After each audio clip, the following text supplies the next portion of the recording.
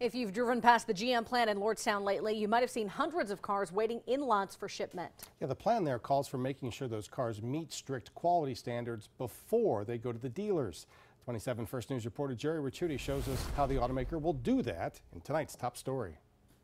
As production of the Chevy Cruze in Lordstown tries to meet demand around the country, workers know the goal is 1,260 of these vehicles each day.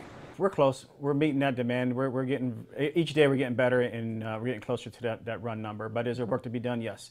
Bob Morales, president of Local 1714, which covers about 1,400 union auto workers at the Lordstown Fab plant, tells me there have been some growing pains since production of the new generation Cruze began late last winter, while workers and managers here push to meet Detroit's expectations.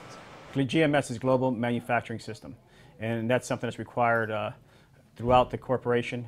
Each step in the building of these cars is known as a process, and when there are problems, it can affect production.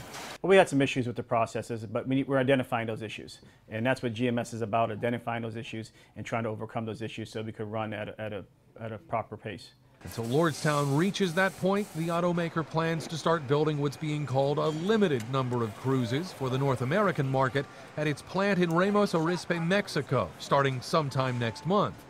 Morales describes the extra production as a chance for a relaunch of sorts. Get caught up on some of our GMS uh, processes and, and, get better as a, uh, as, as a plant. Union leaders and officials with General Motors insist there are no plans to cut back on production here.